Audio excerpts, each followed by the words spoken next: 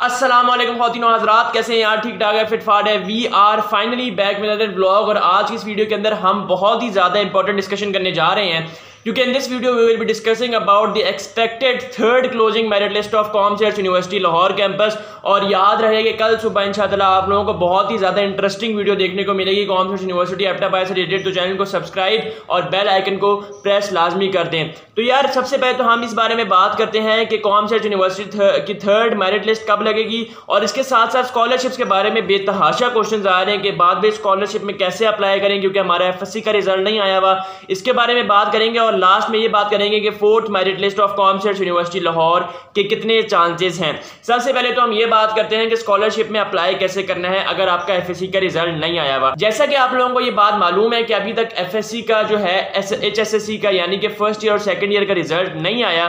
तो इसी वजह से बहुत स्टूडेंट्स इस चीज़ के बारे में कंफ्यूज हैं कि हमारा एफएससी का रिज़ल्ट नहीं आया हुआ तो हमें कैसे पता लगेगा कि हम अप्लाई कर सकते हैं स्कॉलरशिप में या नहीं कर सकते? तो देखें कॉम यूनिवर्सिटी लाहौर में last date to apply for scholarship जो है, वो है ट्वेंटी अगस्त और अभी ये न्यूज़ आई है कि फेडरल बोर्ड ने अनाउंस कर दिया है कि वो कल जो है रिज़ल्ट अनाउंस कर रही है फ़र्स्ट ईयर और सेकंड ईयर का साढ़े दस बजे। तो जैसे ही कल अनाउंस होता है और जैसे ही आपको पता लगता है कि मेरा नाम टॉप टेन में आया हुआ है, मैं रिकमेंड आप लोगों को यही करूँगा कि आप उसी वक्त जो है ना फॉर्म फिल कर दें और रजिस्ट्रेशन करवा लें। Admission dot com dot T D U dot P K पे जाकर स्कॉलरशिप के लिए रजिस्ट्रेशन करवा लें, क्योंकि हर डिग्री के लिए पाँच सीट्स जो है ना, वो रिज़र्व में तो जल्दी जल्दी कराएँगे, क्योंकि क्योंकि वो काम फ़र्स्ट कम फ़र्स्ट सर्व की बेसिस पे किया जाता है। अब बात करते हैं कि कौन से यूनिवर्सिटी लाहौर की थर्ड मेरिट लिस्ट में किन किन डिग्रीज का मेरिट गिरेगा। लेकिन उससे पहले मैं आप लोगों को ये बात बताता हूँ कि कौन सा यूनिवर्सिटी लाहौर ने अपनी स्टोरी पे मेरिट लिस्ट शेयर की। लेकिन उस मेरिट लिस्ट में डबल ई का मेरिट एट्टी लिखा हुआ था। और सी का मेरिट सेवेंटी लिखा हुआ था।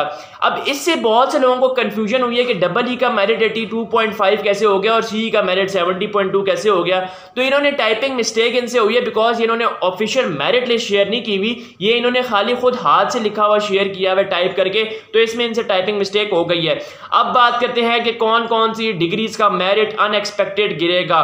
तो यार, सबसे पहले फॉर्म डी के बारे में बात करते हैं। तो अगर हम फॉर्म डी के बारे में बात करें तो this is there are chances कि फॉर्म डी की ये फाइनल मेरिट लिस्ट ही फॉर्म डी का मेरिट इससे नीचे नहीं जा सकता और अगर नीचे गया भी तो फॉर्म डी का मेरिट 81 में ही रहेगा, ये 80s में नहीं जाने लगा। बात नंबर एक। अब बात करते हैं कि क्या इलेक्ट्रिकल इंजीनियरिंग का मेरिट 70 से नीचे जाएगा या नहीं जाएगा? तो जी, बिल्कुल इलेक्ट्रिकल इंजीनियरिंग का मेरिट 70 से नीचे जाएगा but it will remain 68 to 70 इतना रहेगा, ठीक है? अब बात करते हैं कंप्यूटर इंजीनियरिंग सी और एस के बारे में। देखिए, मैंने आप लोगों को कॉमर्स यूनिवर्सिटी इस्लामाबाद की जब मैं वीडियोस बना रहा था तो मैंने आप लोगों को ये बात क्लियर कट की थी कि आप लोग इतना एक्सपेक्ट ना करिएगा कि इतना ज़्यादा मेरिट गिरेगा लाहौर कैंपस में भी। हाँ कम होगा, लेकिन कंपेरेटिवली इस्लामाबाद से कोई इतना ज़्यादा खास फ़र्क नहीं होगा। तो मैं आप लोगों को इस वीडियो में भी यही बात कहूँगा कि इनका मेरिट ना होने के बराबर गिरेगा। मैं ये नहीं कहता कि इनका मेरिट बिल्कुल भी नहीं गिरेगा। इनका मेरिट गिरेगा, लेकिन पॉइंट ज़ीरो करके गिरेगा।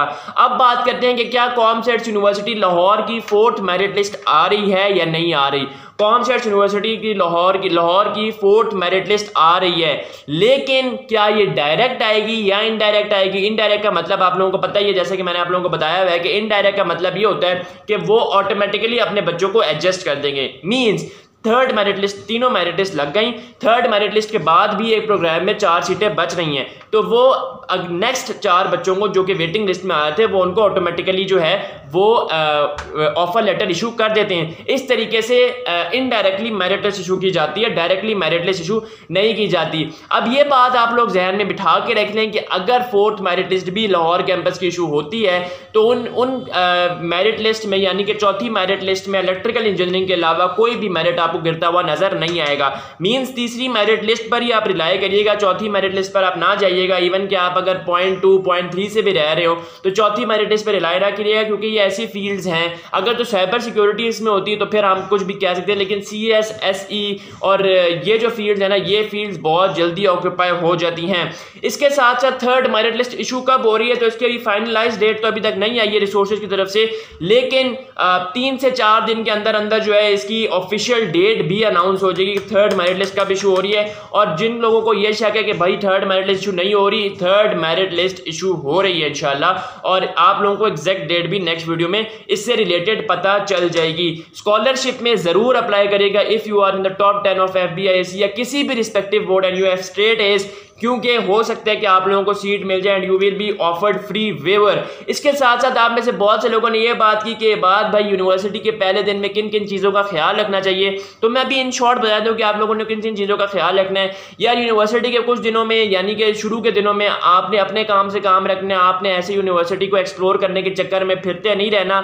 आपने क्लासेस लेनी है, बस क्लासेस लेके जो आपकी जो आपका काम है, आपने बस उसमें ही ज़्यादातर इन्वॉल्व रहना है। बहुत से लोगों को ये शौक पड़ता है कि यार, मैं कैंपस विज़िट कर लूँगा, मैं ज़रा कैंपस को एक्सप्लोर करता हूँ। ज़रूर एक्सप्लोर करें, ये आपका राइट है, लेकिन शुरू के दिनों में ना करें बिकॉज़ रैगिंग अपने ज़ोर और शोर से चल रही होती है। आज की वीडियो के लिए इतना ही। नेक्स्ट वीडियो में आप लोगों को यूनिवर्सिटी से रिलेटेड टिप्स एंड ट्रिक्स भी दूँगा कि आप लोगों ने जब यूनिवर्सिटी में जाना है शुरू के एक दो हफ्तों में तो किन किन चीज़ों का ख्याल रखना और किन किन चीज़ों का ख्याल रखकर आप अच्छा स्कोर कर सकते हैं। आज की वीडियो के लिए इतना ही। आपसे मिलेंगे नेक्स्ट वीडियो में। टिल देन टेक केयर अल्लाह हाफिज़।